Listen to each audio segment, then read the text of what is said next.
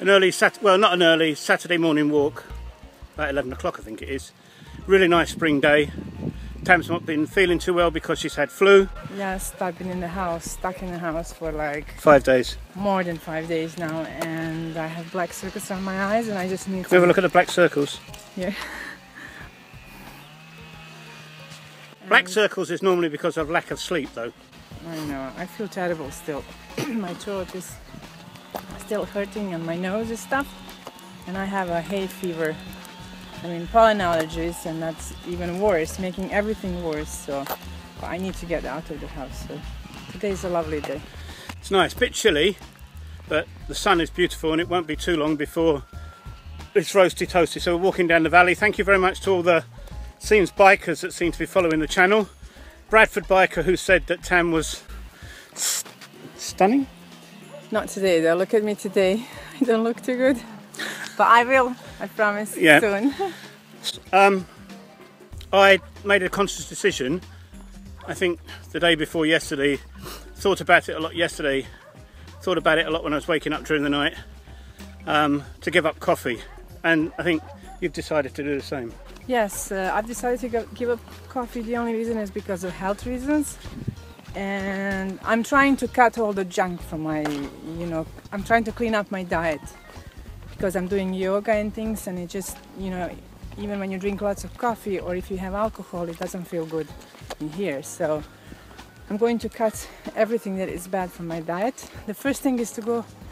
Actually, it's coffee, but I have to do it gradually because I used to have four or five cups of coffee per day now I'm, I'm on to one and then I'm gonna do this for 10 days I got headache in the afternoon so I have a, a like Tylenol or something.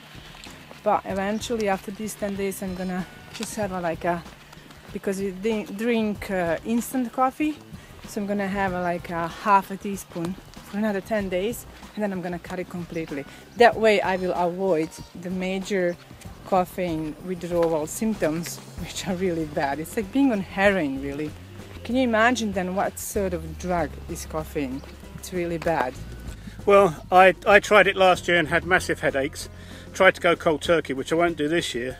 no you Um, have to do it gradually yeah. sorry So, um, we are heavy coffee drinkers so you have to do it gradually but it's worry. cultural here. You know, the if you've ever seen Turkish coffee, Bosnian coffee is the same, just a different name, really. So that'll be And something then- how to cope with that. Especially when you find out that uh, caffeine is found in a different plants, and the plants have them if the bug attacks the plant, so they breathe, they, they inject the caffeine into the bug and bugs dies. So it's really poisonous. And I also find out that farmers are using to, you know, protect the crops with caffeine. So I mean, it's definitely not doing anything to my body. So I'm going to give up. No, but then, So then- so yeah, people walking along as well. I think somewhere. Well, I can't really get the camera around. I gave it up last year, as I say, and got um, terrible headaches. So I'm going to be very wary of that. The trouble is, it's a cultural thing. Not only with the Turkish coffee or Bosnian coffee, which is got more caffeine in, in it that could kill a racehorse, but you know, when people go out, the phrase is they don't go out for a drink, they go out for coffee, and they do. And you know, espressos, double You espressos. have mineral water with slice of lemon Yeah, or there's, there's that. or something. So that's going to be a cultural sh- shock. Don't know how how we're going to cope, but we'll let you know. But look at the day today. I'm going to quickly switch the camera around. That's the view today. Some fluffy clouds. Soon to be no clouds. And dogs. And the dogs are aggressive. running away. Let's get Cooper for you. Let's see, Cooper will come running back. Come on, puppy. Isn't he pretty? Dog? He's, a, pr- he's very pretty. He's lovely. They're both absolutely wonderful and they're great friends with each other. Noticed last night they weren't even fighting over food anymore, which is unusual for dogs. Yes.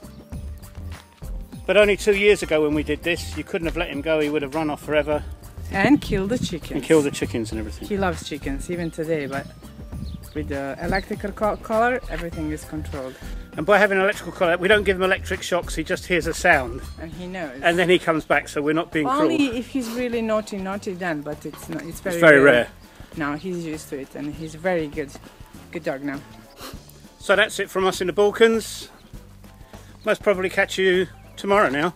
Yes. because the weather's nicer. Oh, and we've got things to show you. Predrag's made the um, outside shower.